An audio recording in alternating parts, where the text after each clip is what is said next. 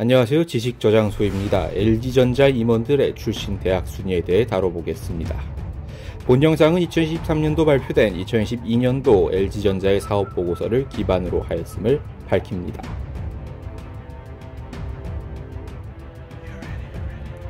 먼저 LG전자의 전체 임원수는 288명으로 집계되었습니다. 이 가운데 해외 대학이 최종 학력인 사람은 111명이었습니다. 공동 13위입니다.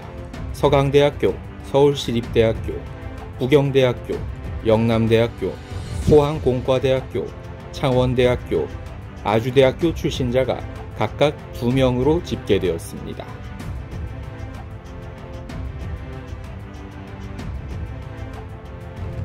12위입니다. 부산에 위치한 사립대학인 동아대학교 출신자가 3명인 것으로 집계되었습니다. 공동 9위입니다. 서울에 위치한 중앙대학교의 출신자가 6명이 LG전자의 현직 임원으로 근무하고 있는 것을 조사되었습니다. 역시 공동 9위입니다. 한양대학교 출신자가 6명이 LG전자의 현직 임원으로 근무하고 있었습니다. 또 공동 9위입니다. 대구에 위치한 영남대학교의 출신자가 6명이 LG전자의 현직 임원으로 근무하고 있었습니다. 마지막으로 공동 9위입니다. 인천에 위치한 인하대학교 출신자가 6명 LG전자의 현직 임원으로 근무하고 있었습니다. 8위입니다. 성균관대학교 출신자가 9명이 LG전자의 임원으로 근무하고 있었습니다.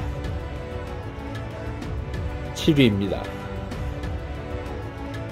한국외국어대학교 출신자가 11명이 LG전자의 임원으로 근무하고 있었습니다. 6위입니다.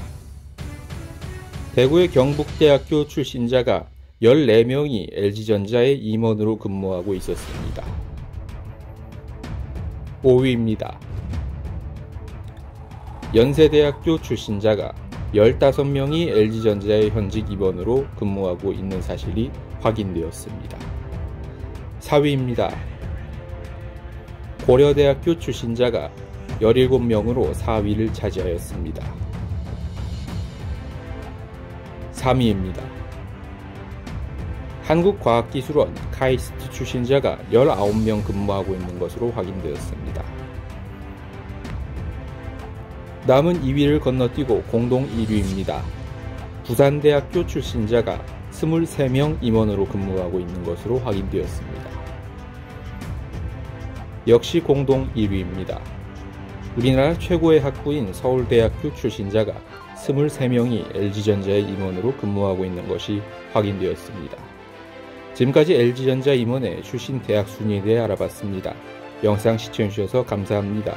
구독과 좋아요는 저에게 큰 힘이 됩니다.